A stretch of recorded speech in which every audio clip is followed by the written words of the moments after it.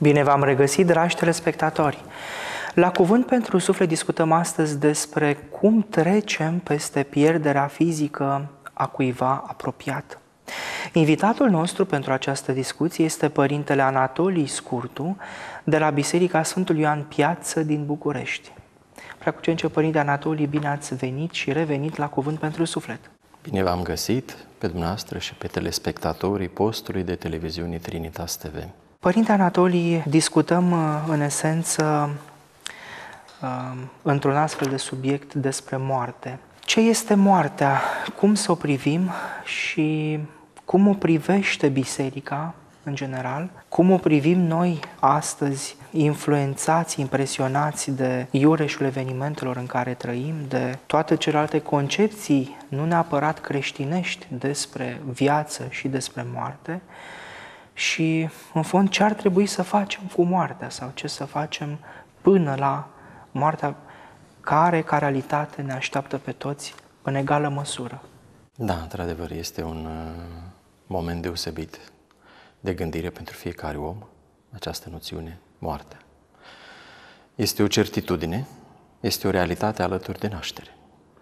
Fiecare dintre noi, din făpturile lui Dumnezeu, cei care ne-am născut, trebuie să trecem și prin această etapă a morții.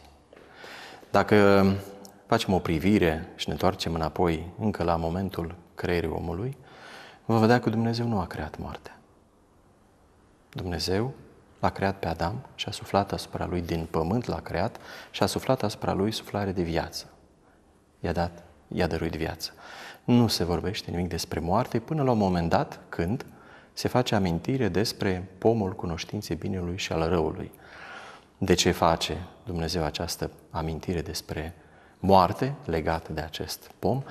Pentru că dacă tot din marea sa iubire Dumnezeu s-a gândit să mai creeze un partener de dialog care să se bucure din iubirea nemărginită a persoanelor Sfintei Trăimi și atunci acest partener de dialog este omul și vedem că este creat în ultima zi, în a șasea zi a creației și așezat peste toată făptura, așezat în grădina Raiului, el, omul, primește acest chip al lui Dumnezeu și o parte din acest chip este libertatea de a decide.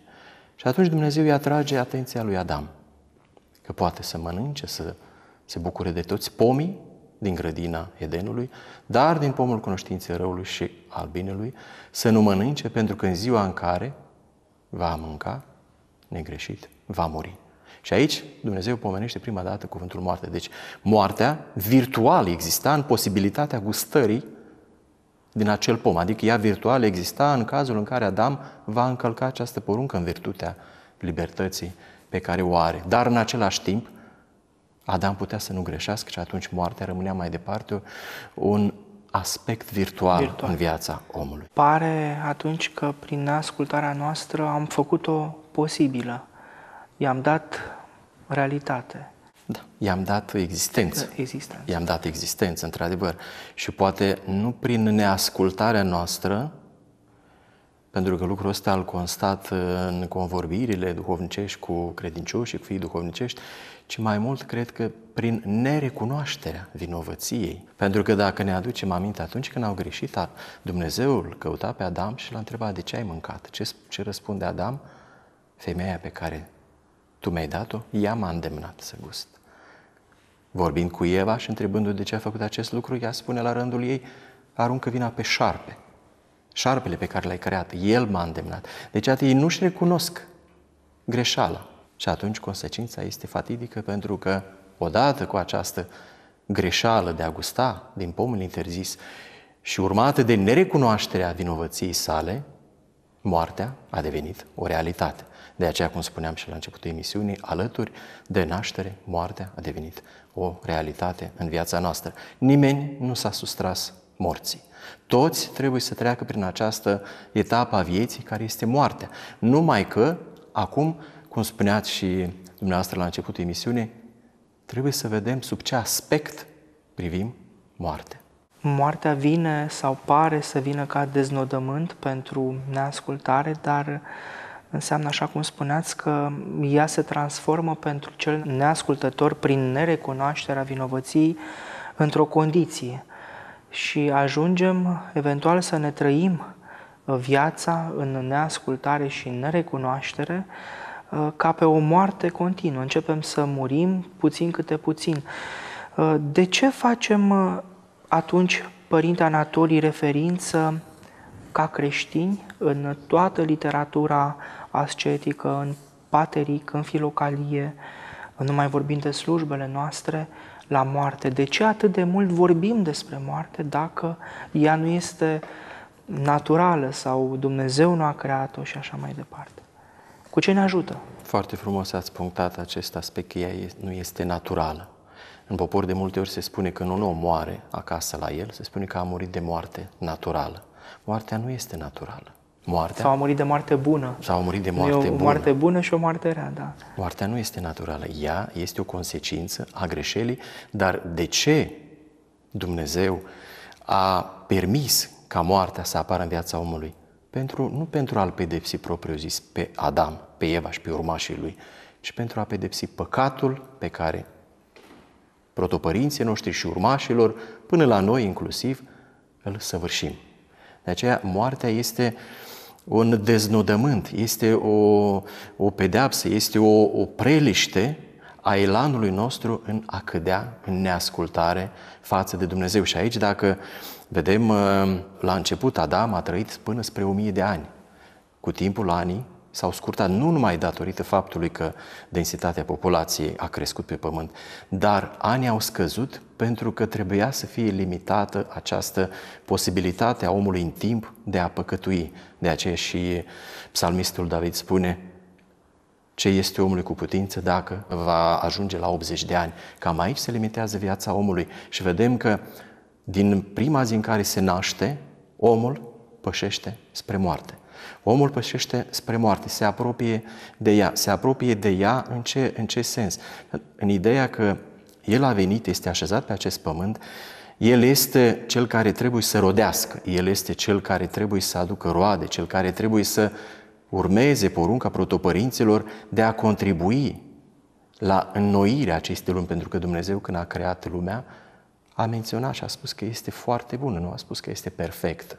Adam a fost lăsat în rai ca să o aducă la starea de perfecțiune, ca într-adevăr să atragă după sine acest titlu de rege al lumii acesteia, al creației, prin care să poată să vină la comuniunea iubirii persoanelor Sfintei Treimi. Dar omul, din păcate, s-a afundat în păcat și atunci moartea nu este ceva natural, ci ea este o consecință a greșelii. Pentru ca păcatul să nu se întindă prea mult, moartea este cea care pune stabilă, cea care oprește omul din această cădere. Așa o privim noi creștini înseamnă, față de cei care nu împărtășesc credința noastră, ă, sau poate și față de cei care au uitat sau mai uită câteodată învățătura noastră de credință, creștini fiind. Acest lucru, Părinte Anatolii, mă duce cu gândul la, ă, din nou la referințele pe care le avem în uh, slujbele noastre și spuneam în textele ascetice la moarte, de ce este ea atât de prezentă și cineva s-ar putea întreba, o folosim ca pe o sperietoare în aceste condiții, moartea? Nu, deloc. Din potrivă, pentru cel care este creștin, ea este o bucurie. Tocmai de aceea aminteați de părinții filocaliei, părinții patristici. Pentru ei moartea era o binecuvântare și cunoaște multe cazuri în, uh, în uh, viețile Sfinților când aceștia se pregăteau pentru moarte. Chiar uh, mi-aduc aminte de un pusnic, Filaret, își chemase un prieten de-al său și l-a rugat să vină cu un târnăcop să sape o groapă undeva între două stânci pentru că știa că sfârșitul vine aproape. S-a bucurat. Sau și un de, alt... De ce și-aduc aminte mereu de ce menționează călugării se spune să stea uh, cu imaginea unui mort sau avem în uh, Uh, cultura europeană medievală, uh, acea imagine a monahului, uh, sigur, de esența apuseană, cu un craniu de mort alături. De ce?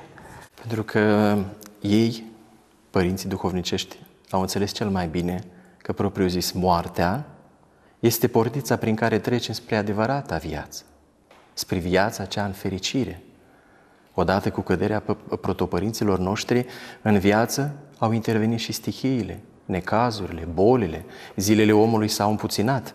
Și atunci, părinții bisericești au văzut prin moarte acea bucurie de a trece în împărăția lui Dumnezeu, acea bucurie de a scăpa de necazurile, de încercările acestei lumi. Și atunci ei privesc moartea ca pe o binecuvântare, pentru că prin ea, pe de o parte, se alătură neamului lor celui adormit, iar pe de altă parte și cel mai important, ei vin în nemijlocită apropiere de dragostea și iubirea Sfintei Treimi. Ați menționat mai devreme um, legat de moarte, ați vorbit despre moartea uh, sufletească și aici vreau să vă întreb, uh, avem o moarte uh, diferită, sunt două feluri de moarte sau o moarte în două viteze pentru noi oamenii?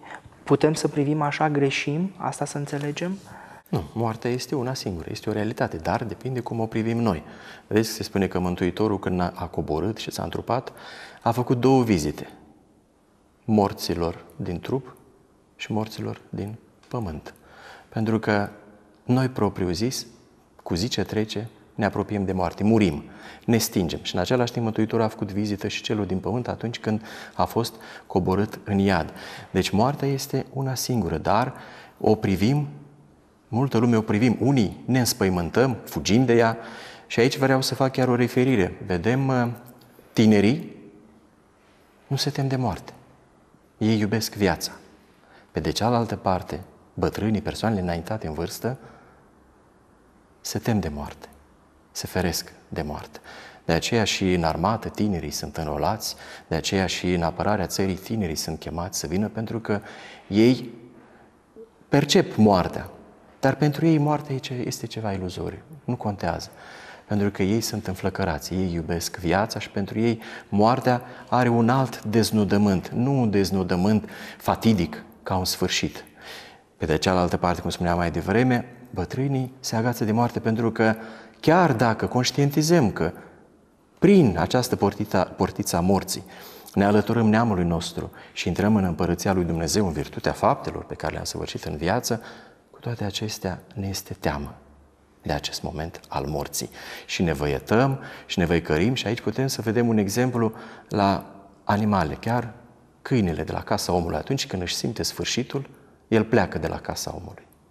El pleacă undeva departe ca trupul lui să nu rămână acolo, să putrezească în curtea stăpânului său. Dar avem și bătrânii înțelepți, Geront, așa cum părinții duhovnicești în uh, creștinism uh, luminoși care uh, nu se tem de moarte, să învățăm de la dânsii acest curaj care să străbată vârstele, generațiile, părinte Anatolii, de neteamă față de moarte, cum se dobândește acest curaj vis-a-vis de moarte atunci când el nu mai este propriu vârstei tinere, când nu mai suntem tineri? Ca orice încercare din viața noastră, ca orice uh, problemă sau grijă, toate se rezolvă prin rugăciune, prin aplicarea către rugăciune. Și atunci prin conștientizarea faptului că zilele omului sunt numărate ele sunt numărate și atunci știm că ori astăzi, ori mâine, ori peste un an, ori peste zece, acest sfârșit neprevăzut de care fugim cu toții se va petrece. Discutăm despre pierderea cuiva drag um, și frica de moarte. Uh, cum să purtăm, Părinte Anatolii, un astfel de eveniment în sufletul nostru, în casa noastră, în familia noastră, în jurul nostru? Cineva pe care uh, îl cunoaștem, la care am ținut și s-a stins dintre noi. Cum să ne mai gândim la el ca persoană și cum să ne mai gândim după aceea la noi și la lumea uh, din care el a făcut parte. Atunci când uh, moare cineva apropiat, cineva drag, îl plângem. Dar propriu zis nu îl plângem pe el, ci ne plângem pe noi înșine. Pentru că nouă ne va lipsi. În inima noastră rămâne acel gol pe care l-a ocupat El până atunci. Și atunci, propriu zis, ne plângem pe noi, ne plângem neputința noastră. Așa cum de altfel, dacă ne aducem aminte de momentul învierii fiului văduvei din Nain, ea își plângea copilul pentru că rămăsese singură și mai înainte, cum menționează evanghelistul, nu cu mult timp înainte murise și bărbatul său. Deci, propriu zis, noi ne plângem pe noi înșine atunci când pierdem pe cineva, pentru că nouă ne va lipsi. În mintea noastră vor reveni acele momente în care uh, am fost împreună, de multe ori în mintea noastră se va repeta ultimele cuvinte pe care le-am avut, în mintea noastră uh, vom vedea acele momente în care l-am văzut ultima dată pe cel drag și parcă încercăm să întoarcem lucrurile înapoi. De multe ori uh, refuzăm să acceptăm lucrul respectiv, că atunci, de fiecare dată când aflăm de moartea cuiva, prima reacție este, a omului este negarea. Nu, nu se poate. Nu cred. Cum este? După aceea, omul încearcă să se acomodeze cu acest gând și încearcă să se gândească ce ar fi făcut el, poate dacă ar fi putut schimba cumva acest deznodământ, poate dacă ar fi putut contribui cu ceva ca să nu, să se, să nu se întâmple lucrul acesta. Și rana este mare, profundă și adâncă, pentru că suntem atașați de cel drag, dar aici trebuie să ne aducem aminte de cuvintele Mântuitorului care spune Cine iubește pe tată mai mult, pe mama mai mult, pe fiu, pe fiică mai mult decât pe mine, nu este vrednic de mine. Deci trebuie să-L iubim pe Hristos în primul rând. Și aici este slăbiciunea firii noastre omenești. Ne atașăm puternic de cei de lângă noi și este un lucru firesc, mai ales de copii, de părinți. Dar prin uh, Duhul Evangheliei, privind lumea, ca pe o perioadă de pregătire, de rodire, lucrurile vor deveni mai simple.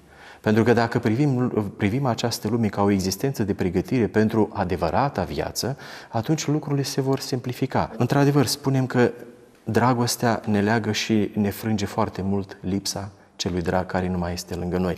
Dar dacă adăugăm această dragoste pe care am avut-o față de cel apropiat pe care l-am pierdut și o amplificăm cu dragostea care va dăinui în rai, acolo unde nădăjduim să ajungem cu toții și unde ne vom revedea. Oare nu este mai plăcută acea dragoste acolo unde cel pe care l-ai pierdut nu mai suferă, nu mai are boli, nu mai are necazuri, ci este o desfătare în bucurie.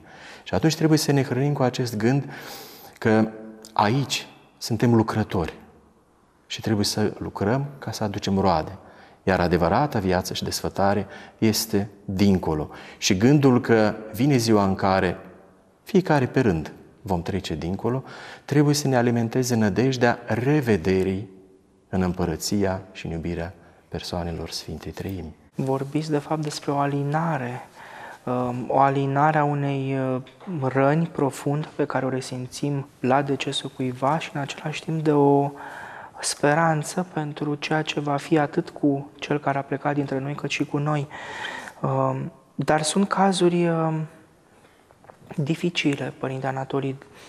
Uh, există depresii um, izvorâte din pierderea cuiva apropiat. Cum se recuperează uh, creștinul după o astfel de pierdere uh, potrivit învățăturii noastre? Există un mod creștinesc de a trăi și de a purta uh, o astfel de pierdere? Este acest mod creștinesc de a duce viața în nădejdea învierii. Hristos este Cel care a săvârșit trei învieri și cea de-a patra este învierea Lui. Hristos a fost răstignit pe cruce, a murit și a înviat în trupul Său. În felul acesta s-a arătat și ucenicilor timp de 40 de zile, adeverindu că El este, și în felul acesta deschide omului portița spre viața cea veșnică. Momentul în care noi intrăm în depresie se datorează faptului că refuzăm să acceptăm realitatea morții.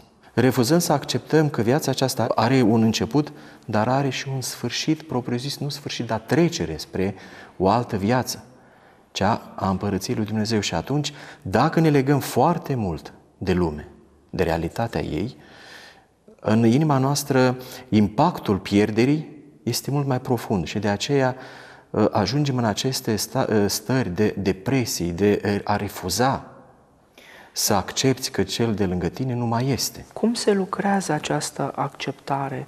Ă, poate că noi înșine ajungi într-o astfel de situație, nu am mai fi în stare sau nu reușim să ne desprindem singuri, să ne vindecăm singuri sau uităm de mijloacele pe care biserica ne le pune la dispoziție. Cum se procedează? Ce face biserica? Ce face familia? Cum, uh, cum am ieșit dintr-o astfel de situație? Vedeți, în momentul în care cineva intră, pierde pe cineva și intră într-o depresie, uh, el poate fi recuperat.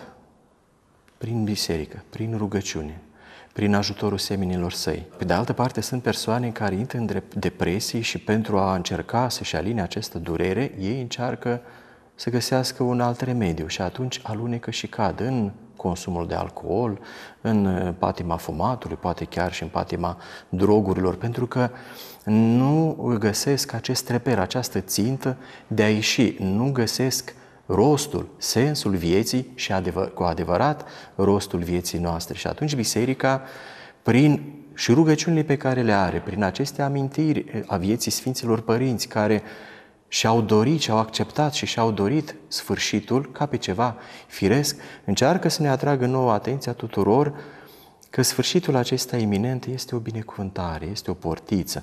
Pentru că odată ce a intrat moartea în viața omului, omul a primit și antidotul morții, care este învierea, pe care Hristos a săvârșit-o.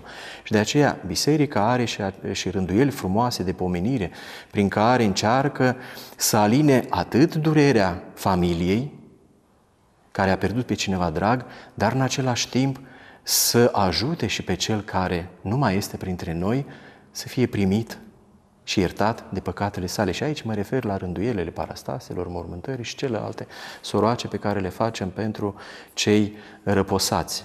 Foarte bine pentru uh, noi este să avem încă din timp, să nu așteptăm uh, să ne trezim cu un moment dintre acesta de tristețe, de despărțire de cineva și atunci să ne punem întrebarea ce este moarte. Să dea peste noi cum ar veni Nepregătiți. Aoleu, să ne trezim că, vai, da, mai și moare omul. Nu, este firesc să murim și atunci, din timp, trebuie să conștientizăm că vine această zi și pentru mine și pentru cel de lângă mine. Această zi va veni și trebuie să ne pregătim pentru că în felul ăsta o acceptăm altfel. Uitați-vă, o furtună când este anunțată. Omul se pregătește și deja se gândește la consecințele care pot urma după această furtună și le acceptă. Și este mai ușor să confrunte acest moment. La fel și această, acest moment în care noi trecem prin acest, uh, să zicem, impas, impas e prea mult, prea mult spus, prin acest moment al pierderii cuiva drag. Noi spunem că l-am pierdut. Nu s-a pierdut, ce a trecut la Hristos, a trecut spre viața cea veșnică, spre mântuire. Deci El a săvârșit lucrarea Lui aici și spunea un Sfânt Părinte că omul moare atunci când este la cel mai înalt nivel pregătit pentru mântuirea Lui. Pentru că nu vreau moartea păcătosului, spune Mântuitorul nostru Iisus Hristos, ci să se întoarcă și să fie viu. Și de aceea, momentele acestea în care moare cineva drag, noi de deseori punem întrebarea de ce? De ce acum? De ce el? De ce eu? De ce celălalt? Și așa mai Încercăm să-i scodim, încercăm să-i spitim hotărârea lui Dumnezeu. Pentru că privim lumea, ă, viața prin o prisma ochilor lumești. Ori trebuie să trecem dincolo de această privire prin prisma părinților duhovnicești care s-au bucurat și care ne-au arătat că moartea este o binecuvântare. Pentru că prin moarte gustăm înviere. Pentru astfel de situație um, dramatică a pierderii cuiva apropiat, um, judecata este întunecată de durere, um, nu mai știi poate la cine să apelezi și ați făcut uh, mențiune, Părinte Anatolii, despre înmormântare, despre ceea ce biserica uh, săvârșește pentru pomenirea uh, celui adormit. Uh, mulți dintre cei care nu acceptă, așa cum menționați, realitatea pierderii cuiva apropiat, în același timp, sub imperiul acestei dureri, spuneam, care nu este deloc rațională și poate duce la lucruri de neînțeles, poate chiar absurde, își doresc o continuare a relației lor într-un fel sau altul cu cel care s-a îndepărtat. Um, cum să accepte și cum să înțeleagă cei care sunt într-o astfel de situație că nu mai este posibil acest lucru sau cum se mai poate continua, zicem noi, relația cu cel de dincolo de acum prin intermediul acestor slujbe, acestor pomeniri cât de departe sau cât de aproape suntem de cei pe care i-am pierdut dintre noi. Dacă vorbim de o persoană care refuză să accepte moartea, pierderea respectivă, cu toate că, așa cum ați menționat, noi nu vorbim propriu zis și în slujbele bisericii despre moarte, ci despre adormire. Dacă refuză o astfel de persoană, este greu de adus pentru că ea deja și-a creat o idee despre moarte și foarte greu și mai ales această idee este întărită de pierdere pe care a suferit-o. Dar aici foarte mult uh, contează apropierea semnului, prietenii, familia, acest imbold, acest, acest impuls pe care ei îl pot primi de la cei apropiați. Pentru că dacă vine o persoană și spune, hai și aprinde o lumânare pentru cel adormit, vine și a doua persoană și a treia, ușor, ușor omul își estompează această furie pornită propriu-zis, pentru că mulți se întreabă de ce revoltă, ei, da, da. de ce ei, de ce nu altcineva, de ce, ce încearcă să găsească vinovați, că sunt de vină medicii sau că chiar este de vină însăși Dumnezeu pentru da, ceea ce și aici s-a o altă întâmplat. problemă, știu că nu mai avem foarte mult timp la dispoziție, uh, se naște și ateism, poate dintr-o astfel de situație. Cum procedăm? Prin cuvântul pe care îl uh, purtăm, așa cum spuneam mai devreme, și prin uh, mijlocirea semenilor, prin familii, prin, pentru că nu toată lumea percepe pierderea la fel și atunci și cel care cade în acest ateism, el are rude, are prieteni care vin la biserică. Și atunci prin convorbirile noastre cu ei, îi putem îndemna la rândul lor să mijlocească și ei, să poarte discuții cu cel care este uh, pierdut, care este rătăcit în această noțiune a morții, să o descopere adevăratul sens al vieții, prin rugăciunile pe care le facem noi, pentru că de multe ori, vedeți, acest acatist pe care îl aducem la biserică sau chiar pomelnicul, noi, scriind acel nume, noi trimitem dragoste, trimitem rugăciunea noastră pentru acea persoană. Și atunci trebuie să ne rugăm pentru ei, trebuie să-i pomenim, pentru că acolo unde cuvântul nostru ca om nu poate ajunge la inima omului, nu-l poate sensibiliza, nu-l poate întoarce înapoi de la concepția lui, rugăciunea către Dumnezeu are putere să ajungă și să înmoaie inima, încât să-l aducă înapoi. Și un exemplu acesta suntem noi, pentru că el se revoltă pe viață, el se revoltă pe Dumnezeu, el poate se revoltă chiar și pe biserică, dar văzând viețuirea noastră, văzând dragostea noastră și mărturisirea vieții noastre prin care mărturisim învierea care urmează după moarte, îl putem trezi la realitatea cea bună, la realitatea cea nouă și în felul acesta se poate întoarce către adevăratul sens al vieții și către adevăratul sens al morții, care nu este o moarte, ci este o adormire spre viață. Vorbiți de fapt despre o responsabilitate comună a celor care l-au cunoscut nu doar pe cel adormit, ci care îl cunosc pe cel care a suferit o astfel de pierdere, a familiei sale, a mediului, a prietenilor și iată a bisericii întregi. Absolut. Este, trebuie să ne implicăm cu toții, pentru că aici este vorba de Samarineanul milostiv. Nu-l cunoștea pe cel căzut, dar s-a apropiat și l-a ajutat. Nu cunoaștem, dar atunci când vine cineva și spune că E o persoană care e într-o depresie în urma unei pierderi, că se uh, revoltă împotriva bisericii, împotriva lui Dumnezeu și a tot ce este în jurul lui, pentru că nu poate accepta această pierdere, ne rugăm și pomenim rugăciunile noastre pentru luminarea minții, pentru îmbunare, pentru conștientizarea adevărului. Părinte Anatolii, vă mulțumesc și vă aștept data viitoare. Vă mulțumesc și eu. Dragi telespectatori, aceasta a fost discuția noastră. Am discutat despre pierderea cuiva apropiat cu Părintele Anatolii Scurtu de la Biserica Sfântul Ioan Piață din București. Vă așteptăm aici la Cuvânt pentru Suflet data viitoare. La revedere!